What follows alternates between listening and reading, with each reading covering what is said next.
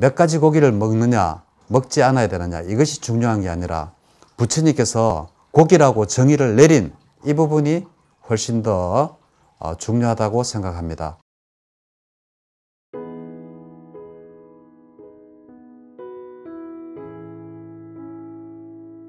안녕하십니까? 마음치행복도량 대구 구룡사주지 도일입니다. 오늘은 어, 육식에 관해서 어, 말씀을 드리겠습니다 육식에 관한 내용은 주로 율장에서 다루고 있습니다. 그, 그런데도 어, 쿠다카 니카에 보면 아마간다 수다라는 게 있습니다. 아마간다 수다. 이 아마간다 수다에서도 율장에서와 같이 고기에 관한 그러한 이야기를 하고 있습니다.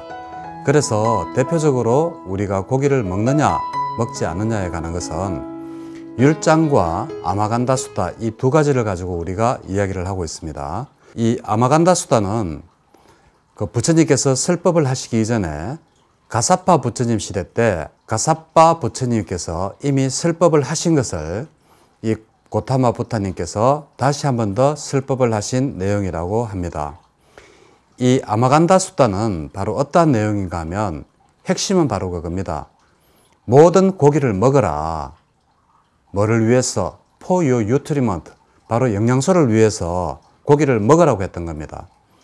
그래서 부처님께서는 고기를 먹는 것을 금지하신 게 아니라 고기를 많이 먹고자 하는 그러한 탐내는 마음을 꾸짖으셨는 게 바로 이 아마간다 수다의 핵심이라고 하겠습니다. 그리고 또 이 율장에 보면 맛있는 고기 다섯 가지가 나오죠. 그 빠찌띠아 빨리라는 그러한 율장입니다. 거기에 보면 어떤 것들이 있는가 하면 바로 쌀, 그리고 볶은 쌀, 죽, 생선, 고기입니다. 제가 경상도 사람이라서 쌀 바람이 잘 안 돼서 노상 쌀 칼 때는 좀 힘을 줍니다.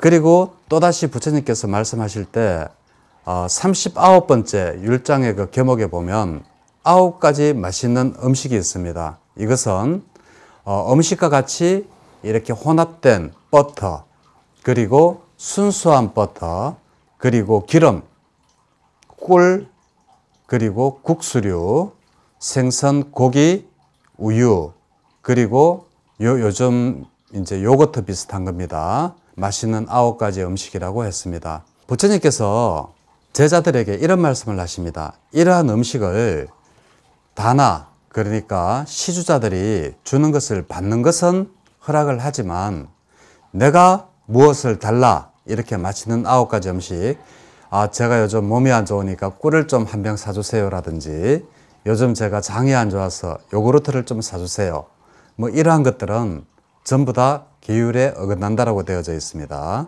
마베가 빨리라는 어, 율장에 보면 마하베가 빨리 그리고 여기에 보면 이제 중요한 이야기가 나옵니다. 부처님께서 고기를 먹는 것을 열 가지를 허락을 하셨습니다.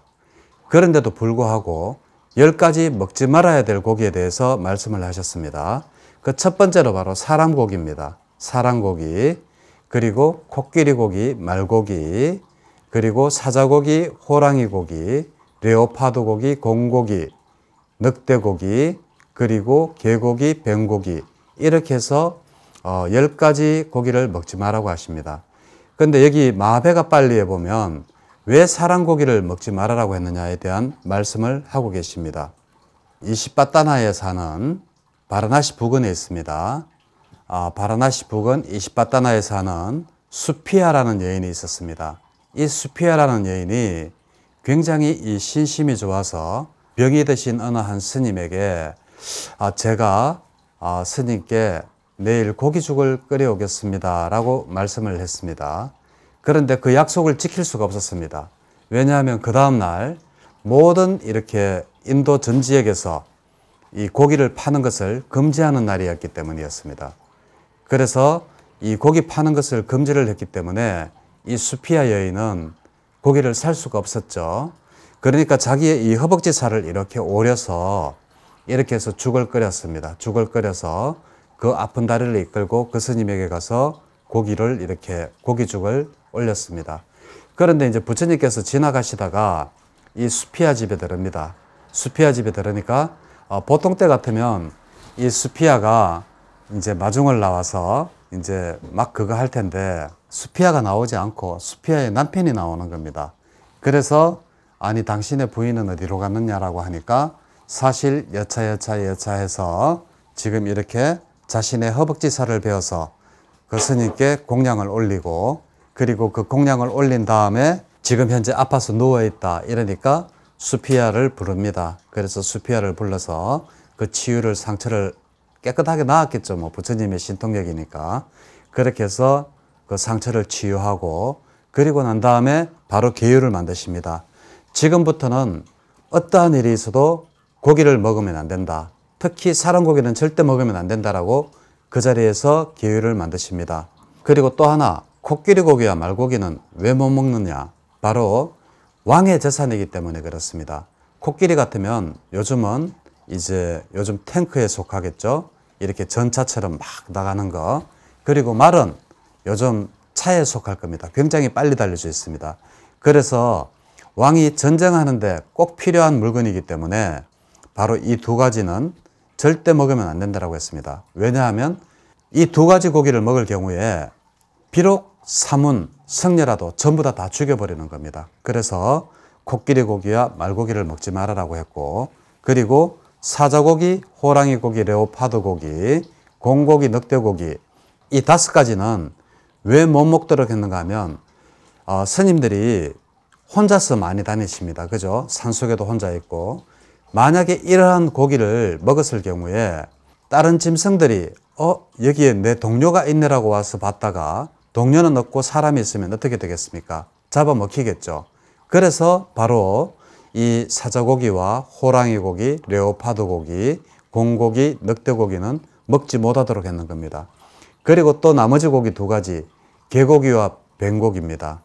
개고기와 뱀고기는 부처님께서 그 두 가지 고기를 먹지 말라고 했는 이유는 디스카스팅입니다. 역겹다라고 했습니다. 왜냐하면 같이 살던 그러한 짐승을 잡아먹는 것은 역겨운 일이다. 그래서 개고기를 먹지 말아라고 했고 뱀고기도 또한 역겹다라고 해서 어, 먹지 말아라고 했습니다. 그 우리나라 개고기 많이들 드시죠? 우리 불자님들은 드시면 절대 안 됩니다. 왜냐하면 부처님께서 개일로 먹지 말아야 될 열 가지 고기에 그것이 속하기 때문입니다.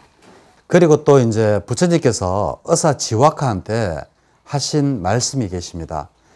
그 세 가지 고기를 먹지 말아야 될 때가 있습니다. 그 첫 번째가 내 앞에 차려진 음식이 죽어가는 모습을 내가 보았을 때입니다. 그럴 때는 그 고기를 먹으면 안 된다라고 말씀을 하십니다. 그리고 두 번째로는 내 앞에 차려진 음식이 죽어가는 소리를 들었을 때, 그 고통스럽게 죽어가는 소리를 들었을 때는 그 고기를 먹지 말아라고 했습니다.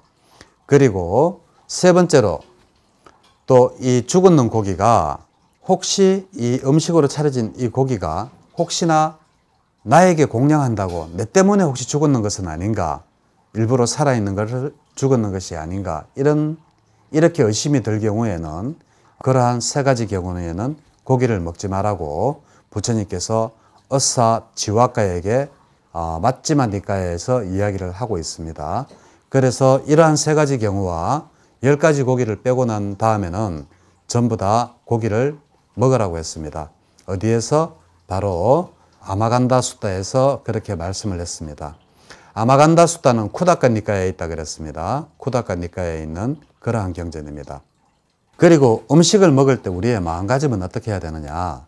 바로 음식경에 바로 나옵니다. 음식경에 보면 어떠한 이야기가 나오는가 하면 어떠한 부모와 자식이 사막을 걷는다고 생각하자. 그런데 그 사막을 건널 때에 먹을 것이 없고 아무 음식이 없어서 죽어서, 죽어야만 됐을 때 이 부모가 자식을 잡아서 먹을 그러한 심정으로 음식을 대해야 된다라고 부처님께서 음식의 경에서 그렇게 말씀을 하고 계십니다. 요즘은 음식이 너무나 풍부한 사회죠. 그래서 우리는 아무 생각 없이 이렇게 먹지만 항상 음식을 먹을 때에는 항상 이러한 부모가 자식을 잡아먹는 그러한 마음가짐으로 정말 진짜 조심해서 그렇게 음식을 먹어야 된다고 하고 있습니다. 또 음식의 이야기가 나오니까 또 한 가지 자연학교와 불교의 차이점에서 제가 말씀드렸던 걸 말씀을 드리지 않을 수가 없네요. 이 자이나교에서는 어, 해탈 열반하기가 가장 쉽습니다. 그게 뭔가 하면 가장 큰 해탈은 바로 반열반에 들려고 하면 굶어서 죽으면 되는 겁니다. 굶어서 죽을 경우에 바로 어, 해탈을 한다라고 하는 게 바로 자이나교도입니다. 지금 현재 하루에 수십만 명의 인구가 굶어서 죽죠. 아사합니다.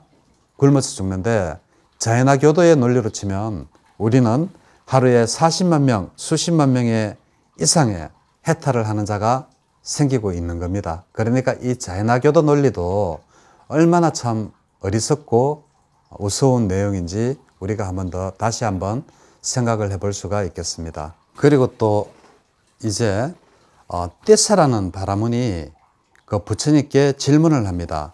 이 띠사는 누군가 하면 바로 육식을 금하고 나무 열매만 먹고 이제 수행을 하는 사람입니다.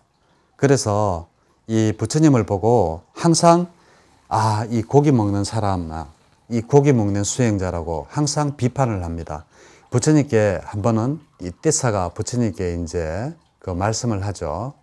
당신은 고기를 먹는 수행자가 아니냐 이렇게 이야기를 할 때 부처님께서 묻습니다. 아니 고기란 도대체 무엇이냐 이렇게 이야기를 합니다.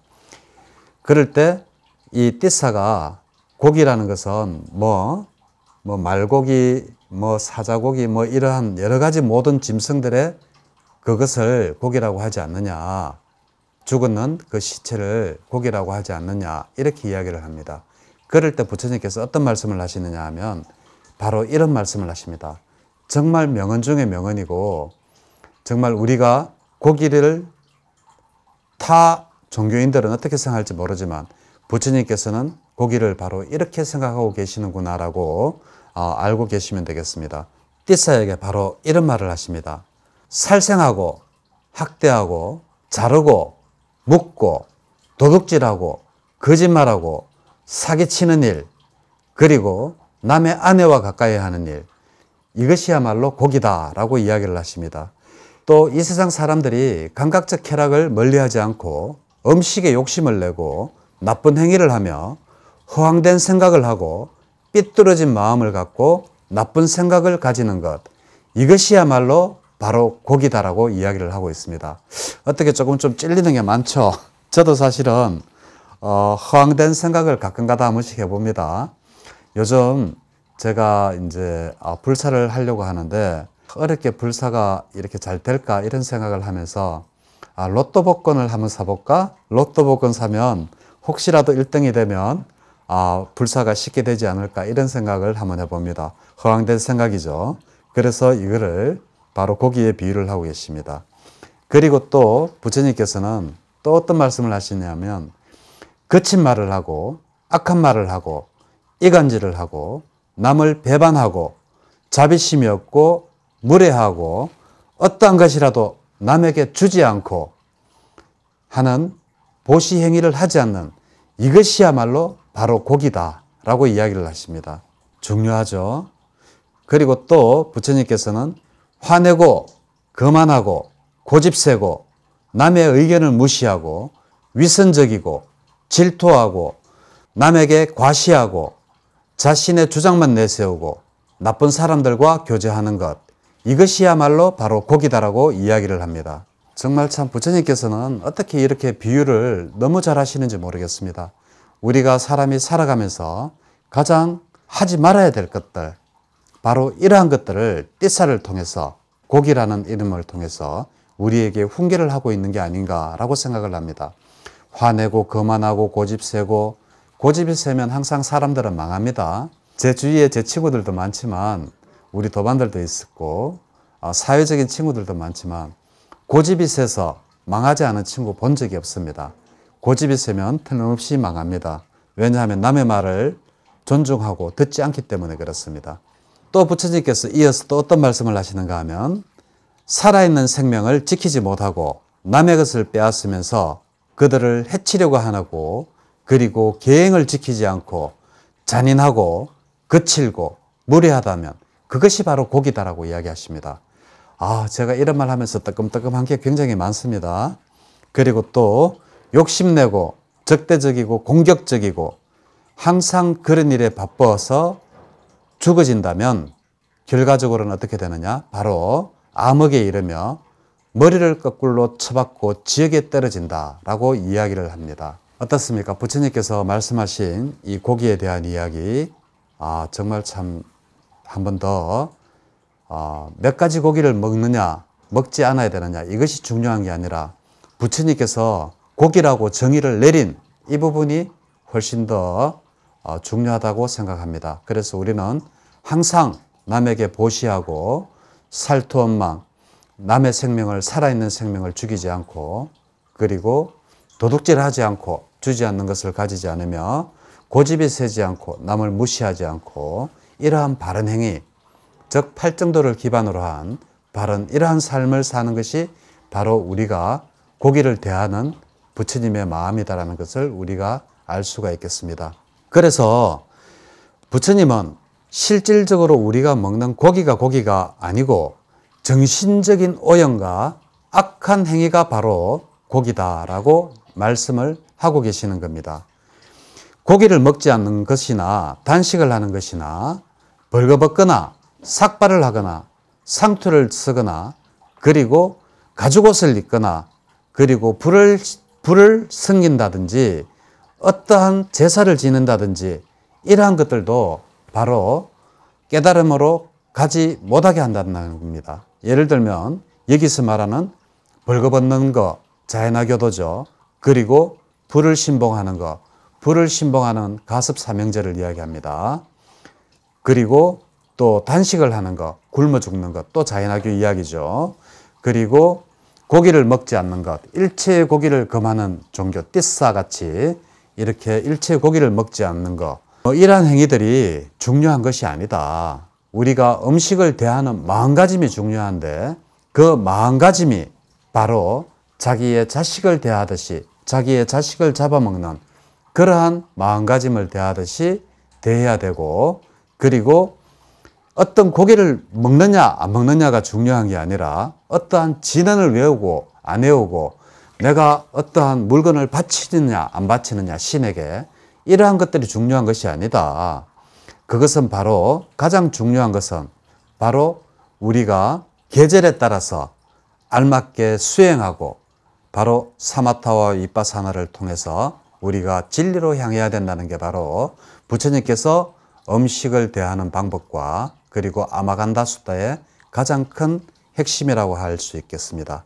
그래서 부처님은 항상 이 끊임없이 일어나고 사라지는 욕망의 흐름 속에서 자기 자신을 이렇게 잘 관찰하고 알아차려서 현재에 고요히 머물면서 항상 행복하게 살아가라 라고 하는 게 바로 부처님의 가르침이 되겠습니다. 자, 그러면 마지막으로 우리가 여기서 이 아마간다 수다나 어, 고기를 먹지 말아야 될 빠치띠아 빨리 위나야를 통해서 우리가 꼭 배워야 될 점이 뭐냐? 바로 이것을 배워야 됩니다.